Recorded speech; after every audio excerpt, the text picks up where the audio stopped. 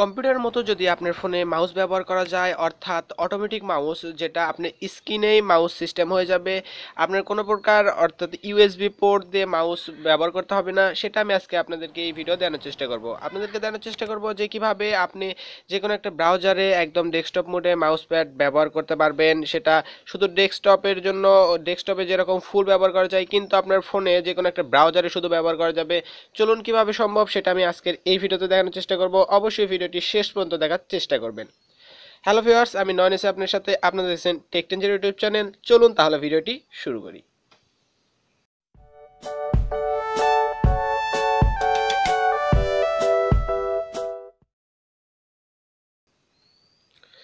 Viewers আমি আগেই বলে দিছি, এটা শুধু একটা ব্রাউজারের জন্য ব্যবহার করতে হবে। সো ব্রাউজারের জন্য ব্যবহার করা যাবে কোনো প্রকার ইউএসবি পোর্ট দিয়ে আমরা মাউস সংযোগ করব না।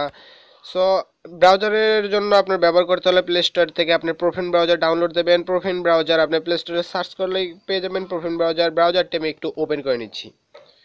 ভিউয়ার্স একটু ওয়েট করতে হচ্ছে। ব্রাউজারটা ওপেন করতে একটু সময় লাগবে। ভিউয়ার্স ব্রাউজারটি ওপেন হয়ে গেছে। এখন আমরা যদি এখানে কোনো কিছু সার্চ করি, একটু ওয়েট করুন। আমি আমার মোবাইল ডাটাটা একটু অন করে নিই। ভিউয়ার্স আমি আমার মোবাইল ডাটাটি অন করে নিয়েছি। এখন আমি যদি এখানে গুগল ডট কম লিখি গুগল লিখি, তাহলে দেখি কি আসে।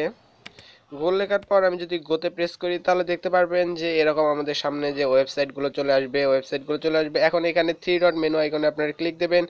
ক্লিক দেওয়ার পর একটু ওয়েট করতে হবে। এখানে মাউস অপশন রয়েছে। মাউস অপশনটিতে আপনি ক্লিক করার সাথে দেখতে পারবেন আপনার এখানে একটা মাউস প্যাড ব্যবহার হবে, অর্থাৎ মাউস হয়ে যাবে।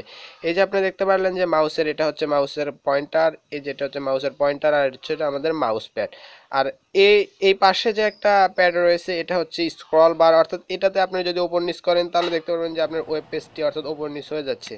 এই মাউস বাদ দিয়ে আপনারা একটা স্মার্ট মাউসও ব্যবহার করতে পারেন। কীভাবে ব্যবহার করবেন? এখানে থ্রি ডট মেনু আইকনে ক্লিক করবেন। ক্লিক করবে এখানে সেটিং অপশনে আপনারা ক্লিক দেবেন।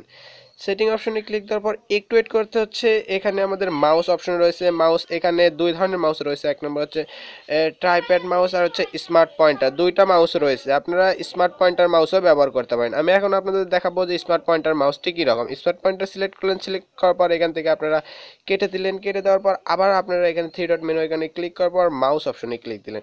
এখন আপনাদের সামনে স্মার্ট মাউস আসলো। অর্থাৎ আপনি এটা যেখানে নিয়ে যাবেন সেখানেই কাজ হবে। মাউসের মতো আপনার কাজ হবে। আপনাকে শুধু এখানে দুইটা ক্লিক দিতে হবে, তাহলে এটা ওপেন হয়ে যাবে। তবে আমি সাজেস্ট করব যে এই স্মার্ট মাউসের চেয়ে অর্থাৎ স্মার্ট মাউসের চেয়ে আপনার মাউস যে ট্রাইপ্যাড মাউস এটাই সবচেয়ে ভালো হবে। এটা ব্যবহার করার জন্য অনেক ভালো হবে। এটা যে কোনো জায়গায় ব্যবহার করতে পারেন আপনারা। শুধু এরকম করে আপনার ডাবল ক্লিক দিলে ওই জিনিসটা ওপেন হয়ে যাবে। আপনার এরকম সাইন ইনে ডাবল ক্লিক দেবেন, তাহলে দেখতে পারবেন যে এটা ওপেন হয়ে যাবে। প্লাস ইন্টারনেটটা যেহেতু একটু স্লো সেই জন্য কাজ করতে একটু দেরি হচ্ছে।